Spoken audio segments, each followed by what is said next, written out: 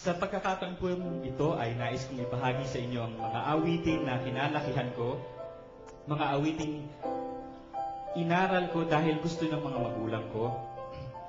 Nandiyan sila, pero hindi ko sila titignan dahil naiyak ako. Ito po ay yung mga awitin ko nung ako'y sumali sa Amateur Singing Contest ng grade 1 at ng grade 2. Isa hong nanalo, tapos yung isa, nalimutan ko yung kanta, so the whole time I was singing, I was just singing the word la. Yan. Ito po ang portion ng programang itong nais kong ibahagi sa inyo na ako naman ito.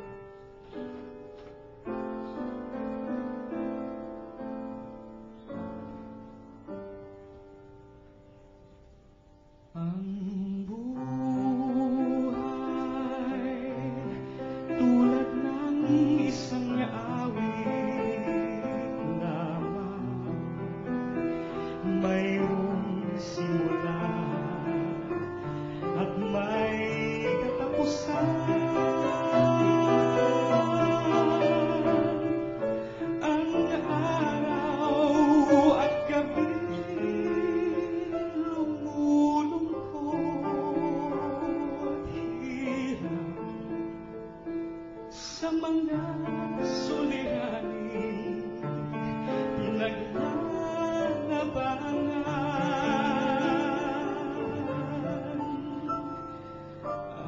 ang aking pagkukulway sa buhay pagbabalat kayo sa katotohanan.